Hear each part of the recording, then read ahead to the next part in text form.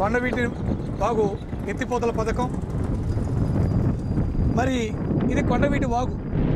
ఈ వాగు కృష్ణా నదిలో కలుస్తుంది ఇక్కడే ఈ బ్రిడ్జ్ దగ్గర.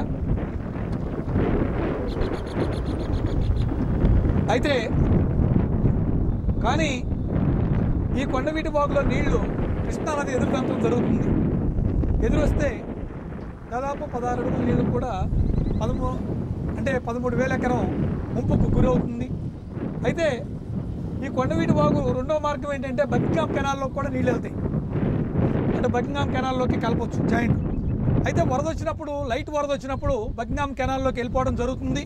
కానీ విశేషమైన విషయం ఏంటంటే ఈ లిఫ్టింగ్ పెట్టింది అటు బకింగ్హామ్ కెనాల్లోకి ఇటు కృష్ణానదిలోకి వెళ్ళలేని పరిస్థితిలో ఉన్నప్పుడు కొండవీటి వాగుని కృష్ణానదిలోకి ఎత్తిపోద్దామని పెట్టారు. కానీ ఇక్కడ ఒక సమస్య ఏంటంటే ఎప్పుడైతే టూ థౌజండ్ నైన్ కానీ నైంటీ ఎయిట్ కానీ వరద వచ్చిన టైంలో ఇది కృష్ణానదిలో ఇరవై ఒకటి పాయింట్ ఎనిమిది అడుగులు ఎత్తు నీళ్ళు ఉన్నప్పుడు అటు కృష్ణలోకి ఎత్తిపోయడానికి ఎట్టి పరిస్థితుల్లోనూ వీలు పడదు. ఎందుకు వీలు పడదంటే ఈ వాటర్ ఇది స్ప్రెడ్డింగ్ వాటర్ వస్తుంది ఇట్టే ప్లస్ రెండోది రివర్ బండ్స్కి ఆల్రెడీ తెగే పరిస్థితికి అంటే టూ థౌజండ్ నైన్లోనూ నైంటీ ఎయిట్లోనూ కూడా రివర్ బండ్స్కి ప్రమాదమైన స్థాయి కృష్ణ పొంగటం జరిగింది. మరి ఆ టైంలో ఇటు ఇక్కడ ఇరవై కిలోమీటర్ల పైన అప్ స్ట్రీమ్లో కానీ డౌన్ స్ట్రీమ్లో ఉన్న అరవై కిలోమీటర్లు కానీ రివర్ బండ్ ప్రమాద స్థాయిలో ఉన్నప్పుడు ఈ నీళ్ళని ఎట్లా ఎత్తిపోస్తారనేది పెద్ద సమస్య.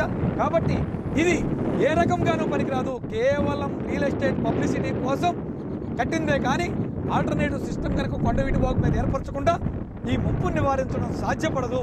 కాబట్టి ఇది కేవలం రెండు వందల నలభై కోట్ల ప్రాజెక్ట్ అనేది ఒక రకంగా ఏ రకంగానూ పనికిరాని ప్రాజెక్ట్.